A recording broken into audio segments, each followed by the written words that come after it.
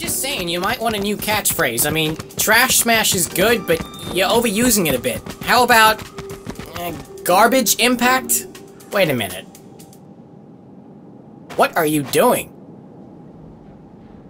Hello? How can you see me? I'm camouflaged. Uh, not really. What are you doing up there anyway? Avoiding conflict. It's better up here in the trees than down there with all the drama. According to my computer, this dino is exhibiting early symptoms of dino insanity. Looks like there's quite enough drama going on up there in your tree, buddy. You may think I'm insane now, but just you wait. Spike! Cannon! Ah!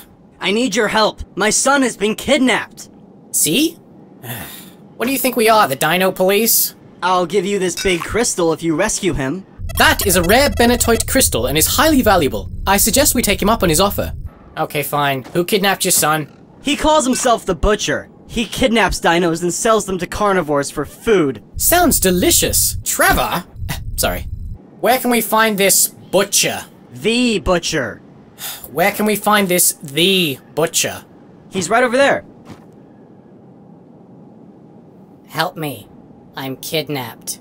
Spike, this may be a good opportunity to test out the new device I added into your inventory.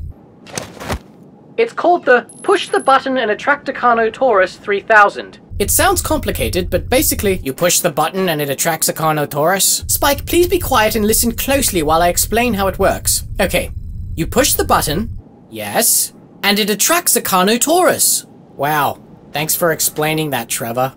Okay, let's go rescue your son.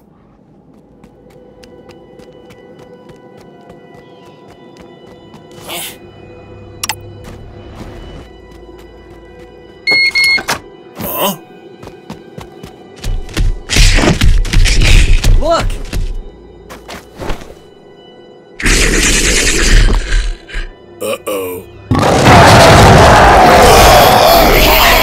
Quick, let's get your son out of there! Cannon, pull the rope! Garbage impact! See? This is why I live up here in the trees. Ah!